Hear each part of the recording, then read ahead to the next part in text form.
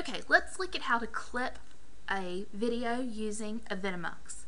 So you're going to add your video either by dragging and dropping it into the area or by clicking File and Open. Either way will work and add your video in.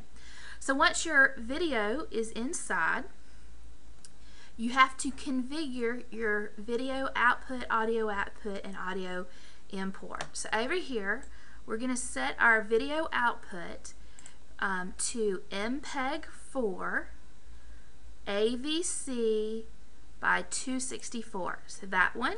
We're going to set our audio output to AAC FAAC. So I'm going to look for that one, and it is this one.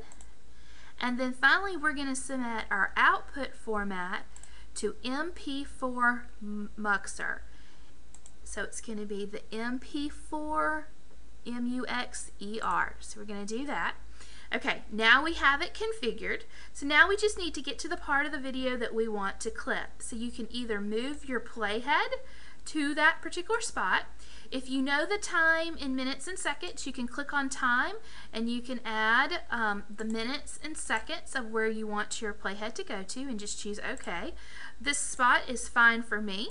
And so when I have my starting spot, I'm going to click on the A. And that's going to add like this this rectangle around the things. Now wherever the rectangle is, is going to is the part of the video that it is going to record. So then I'm going to move my playhead to set my ending spot. So I'm going to have it end at this location right here. So now I'm going to click on B and you can see the full rectangle at this point. So the places between where the rectangle is between this point and this point. You can also see the time numbers over here on the right that it says it's going to start. A is starting at my 30 second mark and B is ending at my 1 minute and 22 second mark.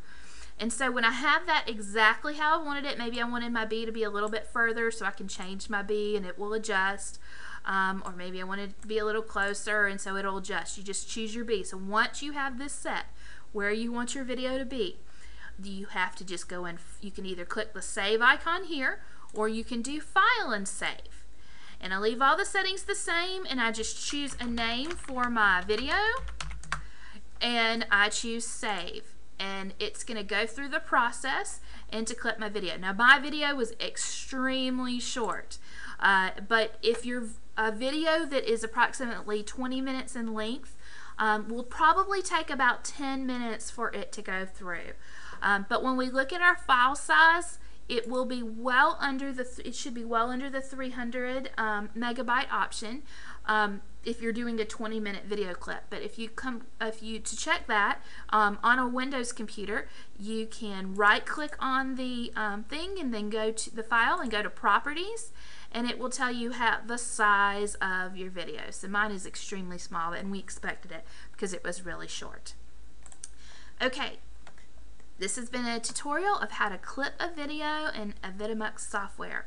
Now, each time you go into Avidemux software, um, you're going to have to reset these output settings. So let, let me show you. If we close this and we open this back up, you see these settings are gone. So we would have to reset them, um, reset the settings so they will um, work for each time we do it. You'll always want to play your video and make sure it looks like you expect it to and that it um, the sounds like you expect it to as well. Again, this has been a tutorial video of the Avidemux software.